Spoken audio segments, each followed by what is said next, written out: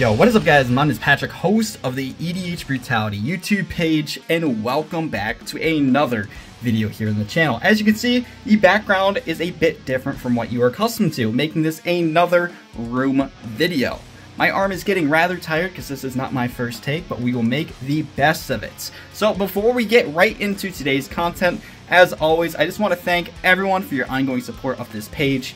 Your support recently has been absolutely unreal, and it certainly doesn't go unnoticed. But we've got some very exciting content to share with you all today, and we are going to be going over my personal collection of EDH play mats for the game known as Magic the Gathering. So heading on over to where we make the magic happen, the YouTube videos, let me get out my EDH play mats. Now, for any new viewers or individuals that don't know how to play Magic the Gathering, a play mat is essentially a large mouse pad designed specifically for you to place your playing cards upon to prevent them from wearing on a dirty surface. And frankly, I hate to say it, but they are a complete waste of money. If you buy one playmat, that is not the case, but nobody ever buys one. Because I, for instance, have five and they're all stored in a Gamegenic dungeon 1100. Now this box is typically meant for cards, and it originally was, until I had too many playmats to store. And you never want to store your playmats out in the open to collect dust, because ultimately you're going to be setting your cards on it. So I ended up repurposing this box, and it is perfect. It can hold a total of 8 playmats. And yes, I know, 8 playmats is a bit much, but with the game as addictive as Magic the Gathering, there's no better choice to do this other than with the Gamegenic Dungeon 1100. And let me just say, this video is not sponsored by any means, it's just my personal preference. Now, the inside cover is this really cool manufactured, like microfiber suede or Alcantara. Has a really nice touch to it, and as you can see, it's got the two compartments capable of holding up to eight playmats. Just depends how tightly you roll them. And even if you don't want to hold eight playmats and you just have a few, you could always separate them, roll them nice and tight, and put them all in one section here, or divider. Let's just take that out because they aren't rolled as tight as I would. And what's great about the Game Gamegenics is you can fit your extra large sidekicks, I believe that's what they're called, right in here and have half of it be playmats, the other half being four double-sleeved commander decks in these extra large magnetic containers. And another great feature I really enjoy about the dungeons here is not only can we fit our decks and our mats, but we can also fit tons of tokens in the side. As you can see, it's not a snug fit.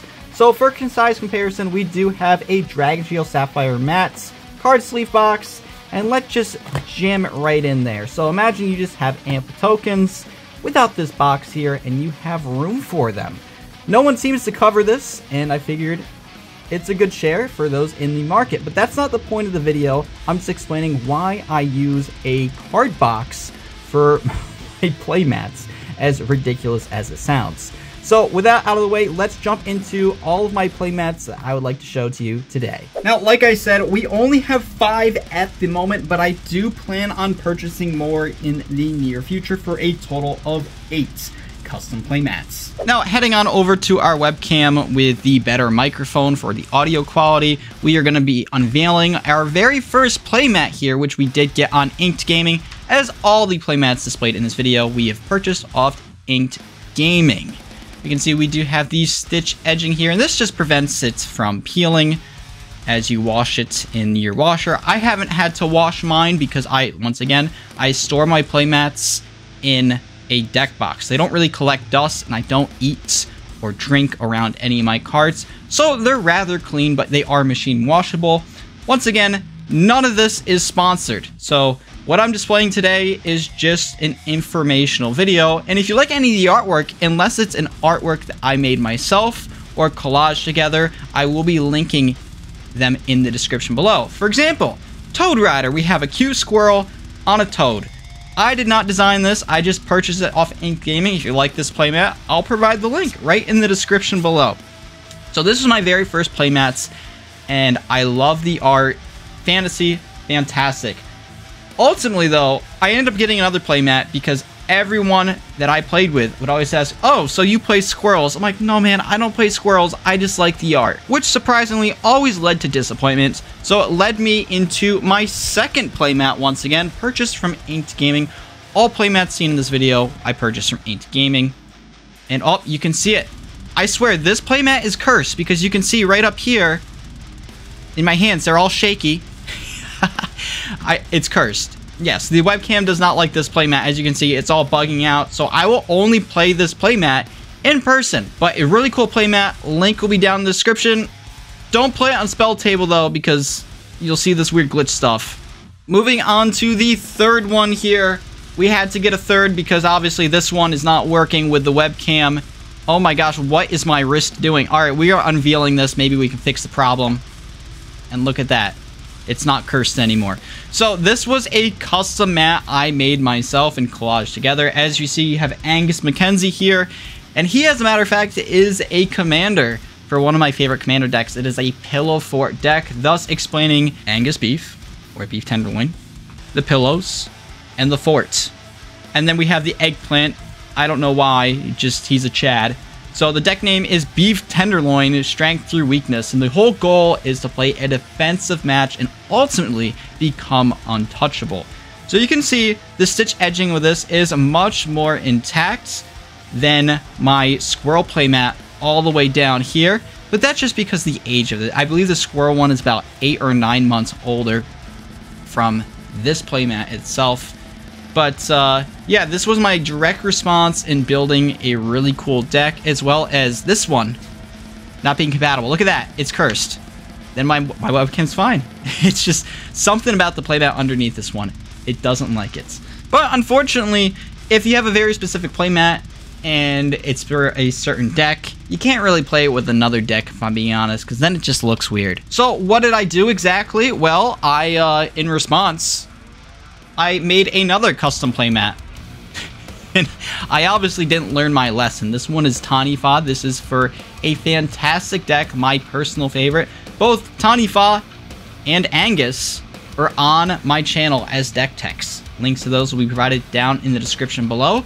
But this was a really cool playmat that I collaged together. But we've got really cool key elements here. We've got Mana Vortex, great card in the deck. We've got Pirate Ship. I don't have that card in the deck, but it's good flavor because you're on the ocean. The Polar Bears from, I believe it's Polar Kraken here. The background here, the mountain, is once again from Mana Vortex. And then we have Tani Fa himself, the commander, my all-time favorite commander. I learned my lesson after my fourth playmats. Took me long enough. And I made a purchase of my final playmat here.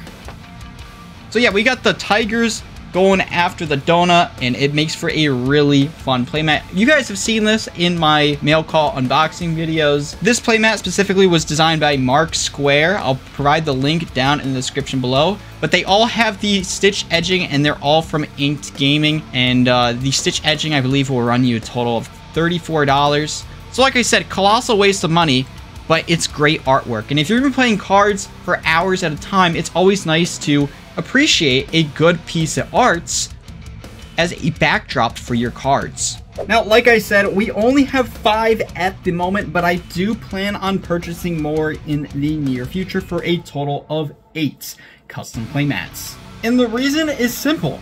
We have a Patreon now, and uh, we haven't got there yet, but one of the top tiers involves a custom signed playmat annually. And this isn't just going to be an any ordinary playmat. As a matter of fact, if someone ever does subscribe to the tier, I'm going to hire an actual graphic artist to design up a playmat for us in the channel specifically. So whenever that does happen, whether it's a year or five years from now, I do plan on adding those to my collection, especially given the fact that once I drop those annual playmats, I'll never be releasing them again. But it's okay, because we got room for them in the Gamegenic Dungeon 1100. This it's so ridiculous. I don't know why I'm storing playmats in a card box. It just works, and I suggest you do the same. But yeah, that's gonna do it for today's video. Perhaps for 1,000 subscribers, we'll showcase some other things going on in the room, but I guess we'll just have to get there to find out. So, as always, if you'd like to stay tuned for future videos here on the channel, make sure you like, subscribe, and hit the notification bell down in the bottom right-hand corner of your screen. And with that said, my name is Patrick, host of EDH Brutality. I thank you for watching, hope you enjoyed. And I'll see you in the next video. Peace out, guys.